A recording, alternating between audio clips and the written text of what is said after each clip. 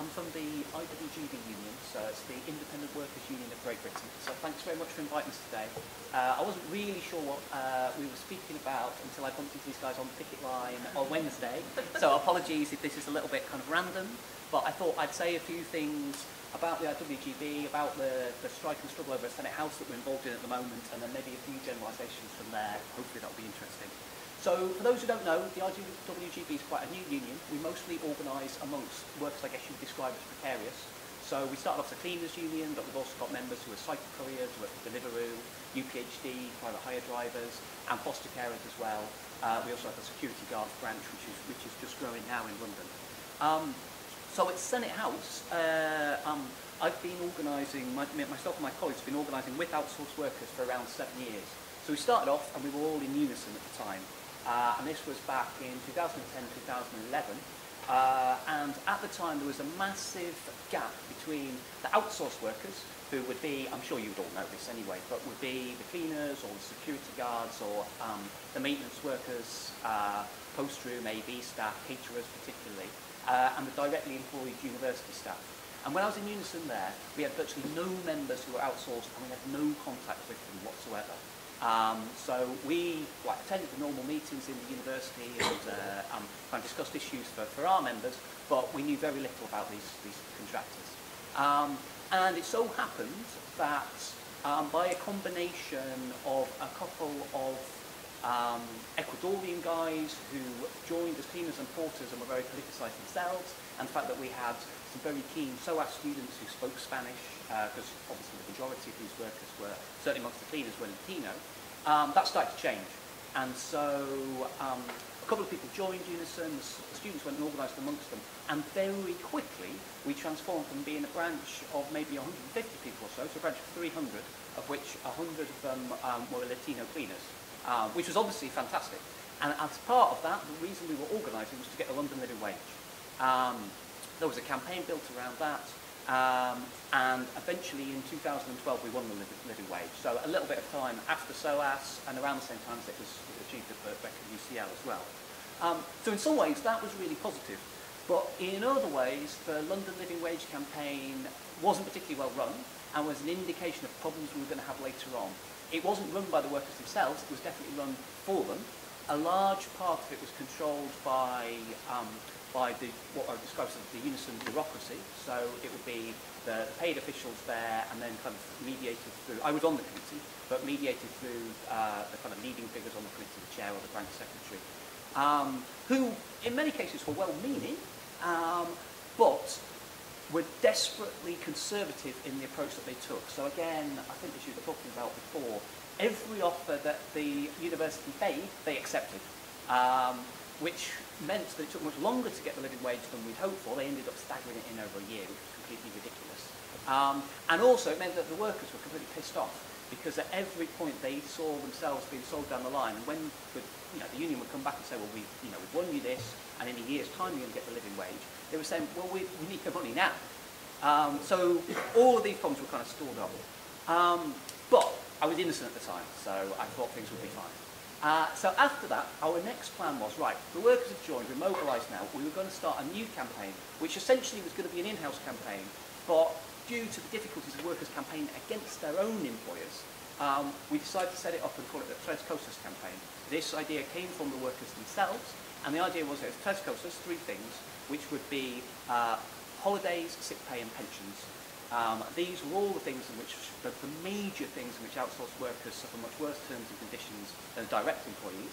And our thinking was, if we could force them to concede these, they probably will bring the workers in-house anyway because there'd be no point outsourcing them if they're having to pay all of the VAT, pay the outsourcing company, and they're paying them the same as the, the in-house workers.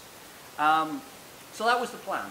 Uh, almost immediately, uh, we ran into trouble. So we, we started and we set up, we were determined that it was going to be run through the workers and immediately convened a reps group uh, in which the reps were um, Henry Chango Lopez, who's now the chair of the IWGB, a guy called Robinson, who's now called Anibal, that's a different story, um, and uh, another of the cleaners called Sonia Chura, and they were to lead the campaign. They laid down what they wanted to campaign for and how they wanted it to be run.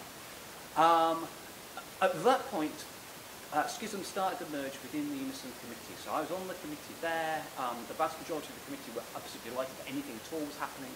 All the members would have supported this. But we had a full-time uni Unison regional official who was, um, who was sitting in the branch at the time, uh, and they flatly refused to back this campaign. They were extremely suspicious of where it was coming from. They didn't want to give the workers autonomy in this way. Uh, and as a result, over a bunch of different committee meetings, uh, despite votes in favour, these, these were ruled, uh, um, again, I can never even remember the details of it, but some, like Byzantine reasons, they were ruled illegal. Um, and eventually it got to the point where we realised we could go no further like this.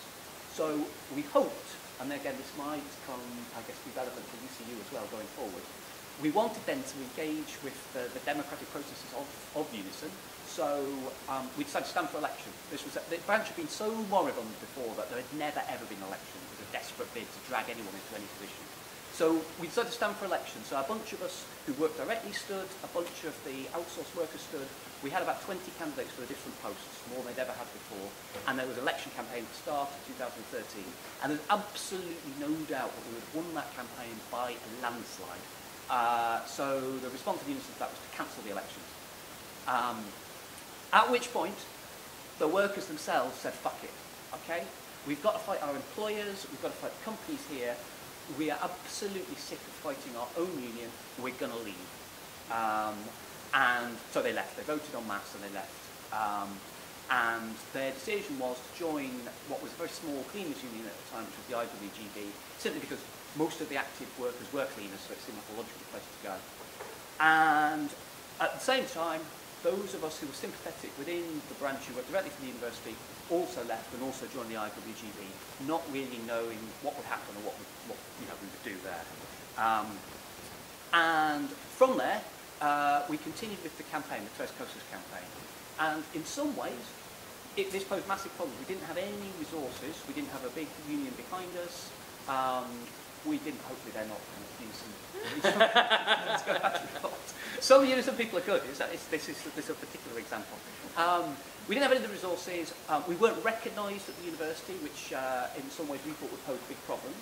But we did have the key thing that we had total autonomy as to what we wanted to do. Um, and for this time, the campaign was run by the workers, and the aim was to, um, to we were running it, and we were going to be as militant and as, uh, as quick as possible in putting pressure on the university.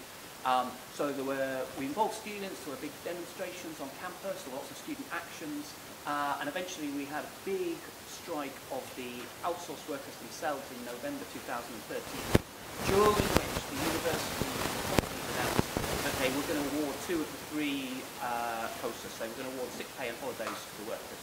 Um, so, in a sense, it was a vindication for our kind of more militant approach there.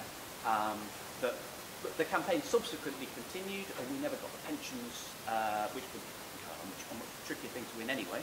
But that was the kind of basis on which we reconceptualised how we were going to organise at the Senate House. Um, since then, um, there was a kind of a period of abeyance. Um, workers were quite pleased to have, uh, have achieved this. Um, and as ever with this in the kind of ebbs and flows of organisation. And then in 2017, um, security guards came to us and said to us, look, um, we've reached a point where we can't cope with this anymore. Since they introduced the living wage, every year the living wage has gone up, but that's eroded our pay. And so as a result, we're now getting paid the same as cleaners. Now, whether or not that is a good or a bad thing is a different kind of question. But certainly they were enraged by this. Um, and so they wanted to start their own campaign. Previously, they'd not been that involved. Uh, but this time they all joined the union again. Um, and very quickly after that, we embarked on strike action, which, start, which started to take place in April last year, March, April last year. Um, and again, it was, it was fantastic to see the participation. I would say of 50 regular security guards who work around Senate House there, we recruited 45, 46 to the union. On the picket line, 40 odd of those. And these guys who were working nights as well, um, people working extremely long hours, and people who had never ever struck before. And the, the characters who were in our previous campaign um, had in fact been the ones standing against the cleaners, if you like, on the picket lines. So it was a fantastic change. Um, those strikes, uh, although our strikes were successful, didn't materialise in a pay from the company and the university, which I think they may be regretting now, because they probably could have bought us off with about 5 10%. Instead, the security guards carried on striking, and the cleaners said, right, we want to join this as well. Um, and so in September last year, we relaunched the campaign as an in-house campaign, uh, and this time we balloted, they worked for a bunch of different companies, so it's a complicated process to ballot as well. We balloted the uh, cleaners uh, and porters, AV workers as well, the gardeners. I always mention that there's only like three gardeners, but anyway, they were balloted. They've been striking. Um, so they joined the campaign, uh, and in September we relaunched it, and again, hopefully this is a kind of broader relevance as well, that we were very, well I say, I mean I play a Molina part in this, so also other people doing more work, but we were very clear that we needed to have um, about the strategy there, and we need to have maximum impact. So rather than um, like a protest, strike, or dribbling these things out, or, or making a few announcements, we made sure that in September um, we had a day which was a day of precarious labour, so the big march through London that culminated, which was the same day as a strike of all the workers here. We also launched a court case, a joint employer court case, uh, which got BBC publicity and Guardian publicity. We had students, uh, we started a student campaign there. So the idea was for an onslaught on the university, so they couldn't possibly ignore what was going on. Um, and since then, we've kind of carried that same approach forwards, um, trying to escalate, trying to escalate, get students involved. You might know that students have been occupying at Senate House as well. Um, we've had a series of strikes that culminated in another big strike this Wednesday. And that shifted the university's position now to, from last summer when I raised it at an all-staff meeting, the university um, basically told us there, listen, we are totally happy with all of our contracts, we're happy with outsourcing and nothing is ever going to happen. To now, where they've said, right, everyone is going to get brought in-house, and it's just a question of time. Um, so in terms of principle, um, it's a massive victory.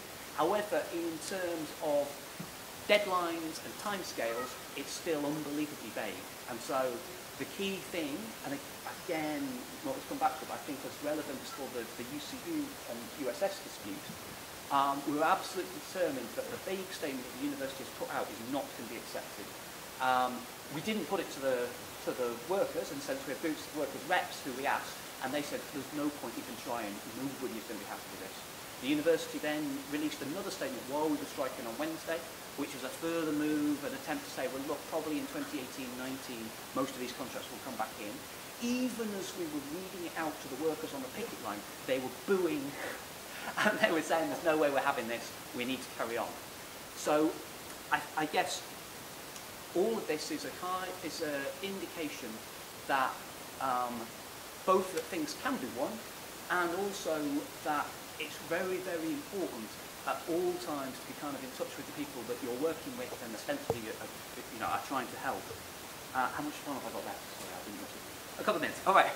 Um, so very quickly, I guess um, from that, I just want to talk a little bit about um, some of the lessons that we've learned from this organising. I, I want to have the caveat as well to say, we def I'm definitely not saying that we've got all the answers. Obviously, the workers are still outsourced there. We haven't run a campaign. We've been striking for, uh, for a year now. But we've certainly learned some lessons from the process which would be helpful, I guess, hopefully to, to other people in your situations. Um, as we're saying, everything's got to be worker-led.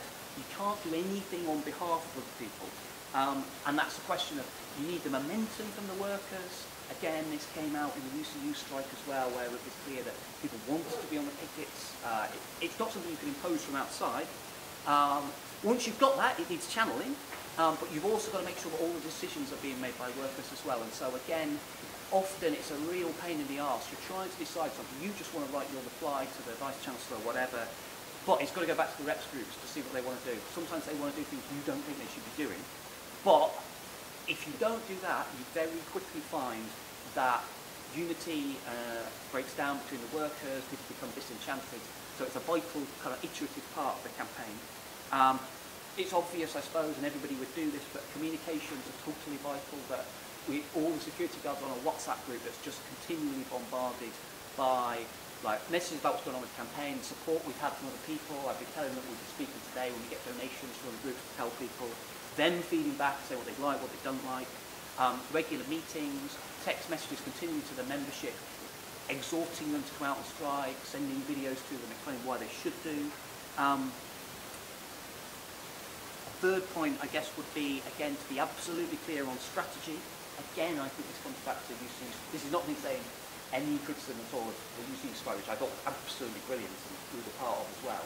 But more in terms of what you were saying about the strategy and, and how you pursue it when you've got a bit of momentum, that our clear thing was to target the university. The company is completely irrelevant here. It's the university that is vulnerable. So you, everyone expects the companies to be evil. Whereas the university is at least meant to pretend that it's this liberal organisation. Uh, and so it's much, much more vulnerable to bad press. Um, it's vulnerable from a legal perspective. Um, and it's also, I think, a, a key thing to bear in mind that attempting to win these things through good relations with the employer is totally futile. Um, but to begin with, when I, and I've only learned this over a period of time, when I was in Unison, that was our aim. That the goal was to be sitting in meetings with management and to be getting on well with them. Um, and there are still recognised unions over at, um, at Senate House, and they do sit in meetings with management, and they get on better and better with them. Um, but um, but it, it simply doesn't what this it doesn't make any sense at all if your aim is to force them to make concessions to the workers. What you need to do is to be absolutely implacable in your demands and to move them to you gradually. And even if that means that they never negotiate or talk to you at all, but merely issue a series of statements, um, then that's absolutely fine if you achieve what you want in the end. And I think that it's, maybe you all know this as well, but for me it was an interesting change of mentality where you really got to avoid being subconsciously um, brought into the management sphere of thinking, and the management sphere of acting. Um, and I guess finally on that, I'd, I'd just like to say as the enthusing thing, it is possible to organise amongst any group of workers, I think. That the idea in the past that outsourcing would mean this, this wouldn't work anymore, it does make it difficult, but it is possible to do, and it is possible to win as well. So I think that, although I'm talking about one very discrete example here, At LSE and at SOAS, they've already won the fight against outsourcing. Just for cleaners at LSE, but everyone here at SOAS. What we like to see this as is the next domino. So if we can win at the University of London, I think the next thing would be UCL, which is obviously the big campus here. And it's the whole, again, uh, I guess in keeping with the, the, the theme here today, the whole neoliberal philosophy that universities have been run on is starting to shift previously it was unquestioned that outsourcing was the way forward, and now it is questioned. So I think that could have massive implications to universities and, and probably elsewhere as well. Thanks very much.